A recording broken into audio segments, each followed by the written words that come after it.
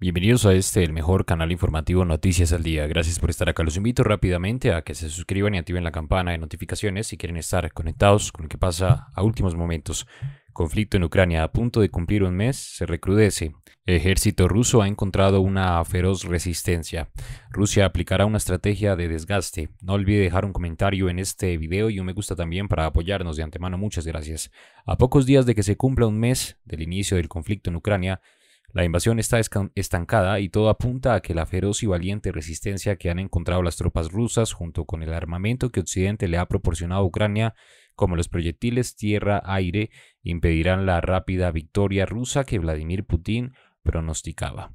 Según un parte de inteligencia militar difundido esta semana en Twitter por el Ministerio Británico de Defensa, las fuerzas rusas han hecho un progreso mínimo por tierra, mar o aire en los últimos días y continúan sufriendo muchas pérdidas. El parte destaca que la resistencia ucraniana sigue firme y bien coordinada y la gran mayoría del territorio ucraniano, incluyendo las principales ciudades, siguen en sus manos. Ha fracasado el ejército ruso hasta la fecha a la hora de lograr sus objetivos originales, pues se ha visto sorprendido por la magnitud y ferocidad de la resistencia ucraniana, asegura el parte británico. En el documento, Defensa revela asimismo que las fuerzas invasoras rusas están teniendo problemas para superar los desafíos que plantea ese país y para progresar. Según los datos que maneja el Ministerio Británico de Defensa, el avance de Rusia en Ucrania se ha visto bloqueado por la falta de maniobrabilidad que ha sido explotada expertamente por las fuerzas ucranianas. Estrategia de desgaste. Según el parte de inteligencia militar, las fuerzas ucranianas alrededor de Kiev continúan frustrando los amagos rusos de rodear las ciudades, las ciudades de Kharkov, y entre otras. Entre estas también se encuentra Mariupol, sigue estando rodeadas y son objeto de fuertes bombardeos rusos, así indica el documento. ¿Qué opinan de esta información? Nuevamente los invito a suscribirse y activar la campana de notificaciones, compartir a través de las redes sociales es importante también.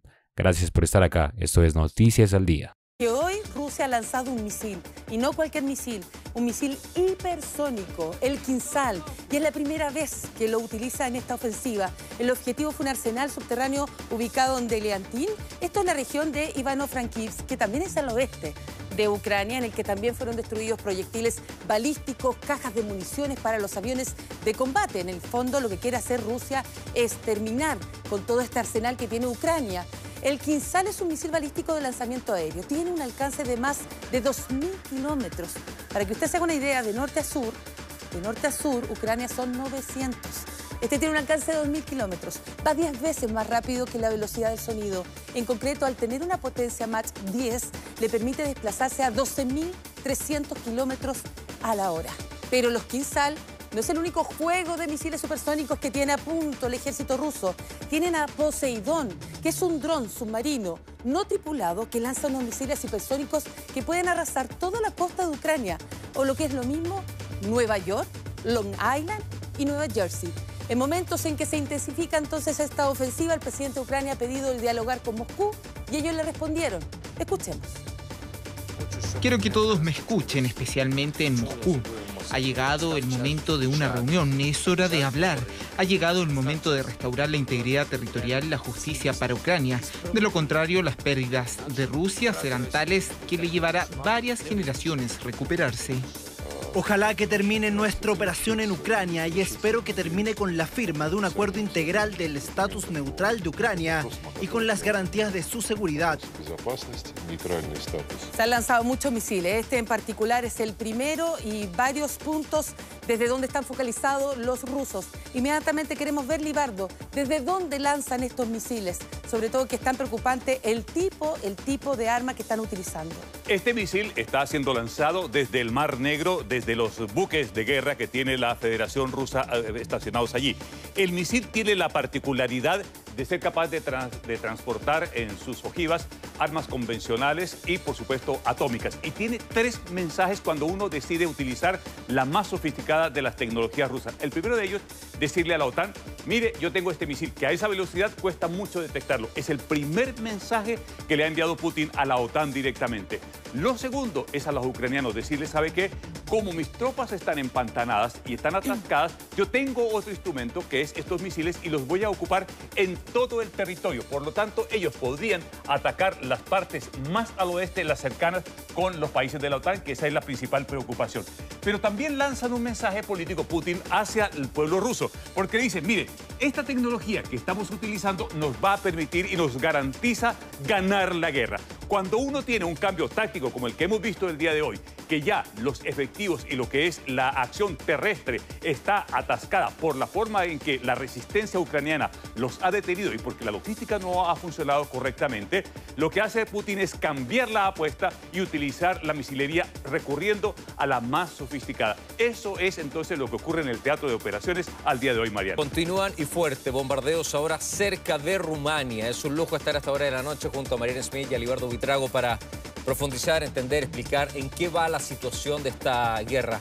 Mariana, bombardeos muy cerca de Rumania, ¿cómo lo podemos entender? Bienvenida, buenas noches. Hola, muy buenas noches. Tremendamente complejo, la verdad, Rodrigo. Porque se han intensificado primero la ofensiva eh, rusa y hacerlo literalmente están jugando con fuego porque esta vez los ataques fueron directamente hacia un cuartel militar que se ubica a solo 50 kilómetros de Rumania. Aquí vemos incluso el momento en que se hace ese bombardeo y Rumania es un país, uno de los 30 países que integran la OTAN.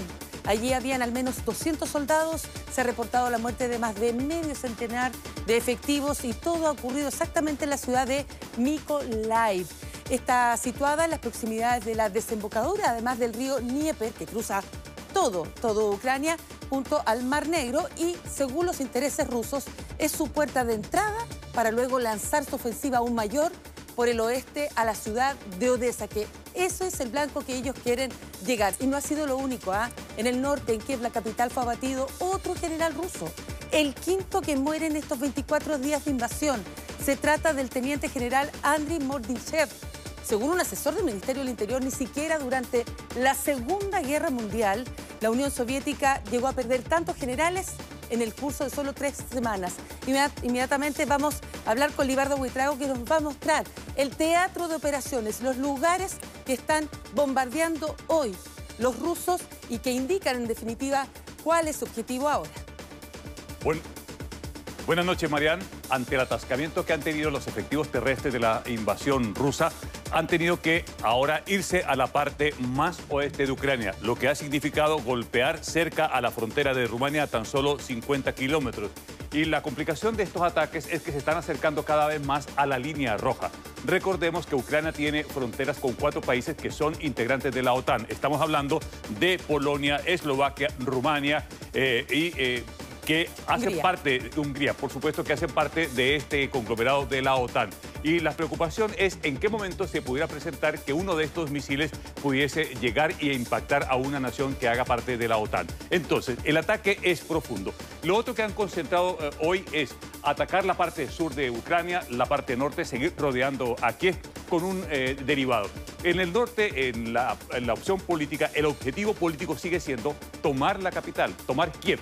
¿Para qué? para controlar el poder político. Y allí se están reagrupando en esta madrugada ya eh, europea los efectivos que están rodeando esta ciudad para saber en qué momento podrían desencadenar un asalto sobre la capital.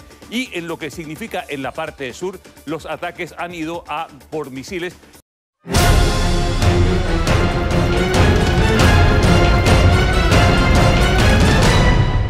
Si no te quieres perder de los últimos acontecimientos que pasan en el mundo, suscríbete y activa la campana. Somos Noticias al Día.